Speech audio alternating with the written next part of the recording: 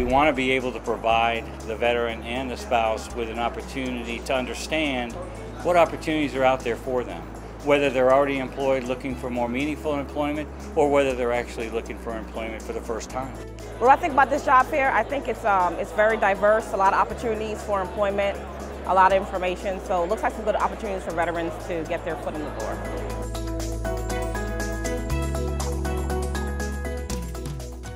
We hire veterans solely because of the characteristics they bring to the position.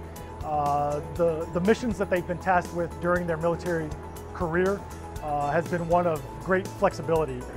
The market is competitive and we want people who can compete. And veterans offer a unique market differentiator than a civilian counterpart does because of the fact that, you know, they work in really stressful environments and know how to manage their stress and their talent, and then they know how to work with people from all walks of life.